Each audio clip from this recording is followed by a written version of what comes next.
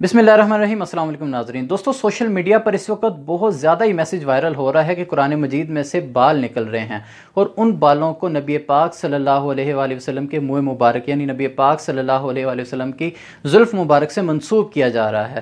تو اس بات میں کس قدر سچائی ہے، کس قدر صداقت ہے، اس بارے میں میں آج کی ویڈیو میں آپ کو بتاؤں گا۔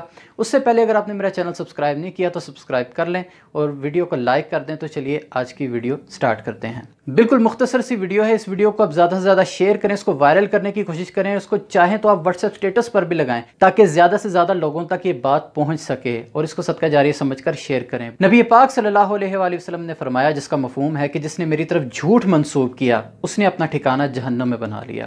یعنی کہ اگر کوئی شخص ایسی بات اپنی طرف سے گھڑتا ہے اور اس بات کو نبی پاک صلی اللہ علیہ وسلم کی ذات مبارکہ سے منسوب کر دیتا ہے۔ یعنی وہ شخص یہ کہتا ہے کہ یہ جو بات ہے، یہ نبی پاک صلی اللہ علیہ وسلم نے فرمائی ہے۔ حالانکہ حقیقتاً وہ بات نبی پاک صلی اللہ علیہ وسلم نے فرمائی ہی نہیں ہے۔ تو ایسی حرکت کرنے والا شخص جہنمی ہے، جو نبی پاک صلی اللہ علیہ وسلم نے اپنی حدیث مبارکہ میں فرما دیا۔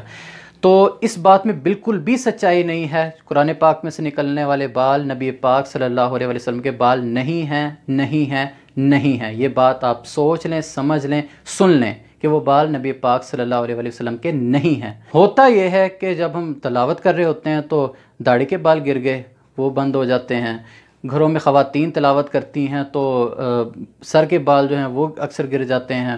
وہ دھیان نہیں رہتا تو بند ہو جاتے ہیں۔ یا جہاں پہ قرآن پاک کی پرنٹنگ ہو رہی ہوتی ہے اسمبلنگ ہو رہی ہوتی ہے، وہاں پر ورکرز کا کوئی سر کا بال گر سکتا ہے، داڑھی کا بال گر سکتا ہے، تو وہ بے دہانی میں وہ بھی بند ہو جاتا ہے۔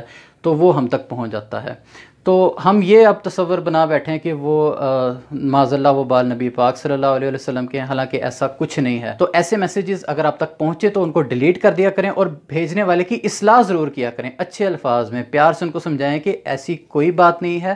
تو گمراہی مت پھیلائیں اور اس بات میں کوئی سچائی نہیں ہے اور اس کے ذمے بھی یہ بات لگائیں کہ آپ کو جس بندے نے یہ میسیج بھیجا ہے، آپ اس کی صلاح کرو کہ اس میں کسی قسم کی سچائی نہیں ہے، اس میسیج کو آگے فارورڈ نہ کریں۔ دعا ہے اللہ کریم آپ سب کے ایمان کی حفاظت فرمائے اور ایسے فتنوں سے ہم سب کو محفوظ رکھے اور جو ایسے فتنے پھیلاتے ہیں، اللہ پاک ان کو بھی ہدایت کی توفیق عطا فرمائے۔ مجھے یہاں پر دیجیے اجازت۔ میرا نام ہے ناتخوان محمد بلال بٹی پھر کسی ویڈیو میں انشاءاللہ تعالیٰ آپ سے ملاقات ہوگی۔ تب تک کے لیے اجازت دیجیے۔ اللہ حافظ۔